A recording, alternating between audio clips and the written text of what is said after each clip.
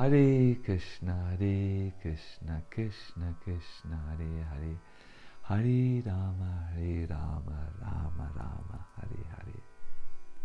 Welcome to this last installment in our little mini series within our uh, Japa inspirations.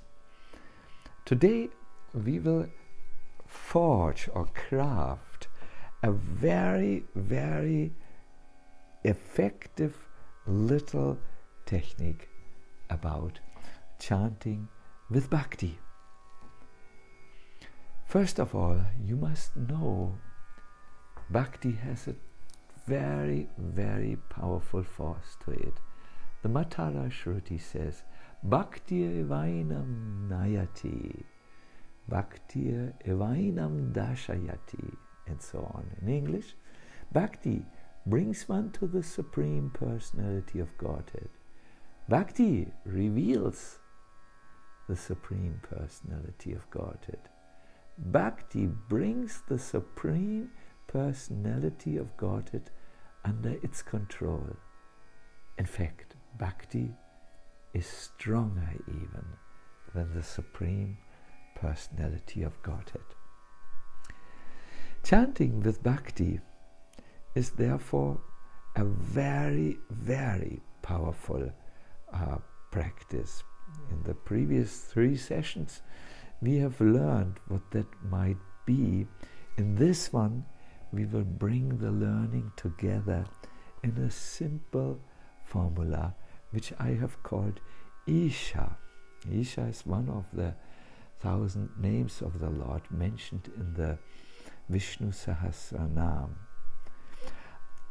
I stands for intention. S stands for sincerity and A for attention. When you sit down to chant, have the conscious intention to actually spend time, quality time with Krishna, putting him in the center and having the intention to please him. The second is sincerity. Make sure the real you uh, chants. Sincerity is so nicely expressed in the Madhya Leela, uh, in this well known shloka Krishna Tomahana Yadibala Ekabar. Translate. My dear Lord Krishna, although I have forgotten you for so many long years in the material world, today I'm surrendering unto you. I'm your sincere and serious servant. Please engage me in your service. Krishnadas Kaviraj makes the point that one is immediately freed from the clutches of all Maya if he seriously and sincerely can say this or come into this mood. That was sincerity. The last item mm, in our Isha formula is A that stands for attention. As we have heard before, attention uh, means uh, to bring the mind back. I like the German word Aufmerksamkeit. It means that just like a deer hears the sound of someone coming and perks his ears up and comes, comes into a position of alertness. In the same way, the attentive person perks up his whole being, so to say, and brings it, focuses it entirely to the act of hearing or listening so that he can uh, act appropriately.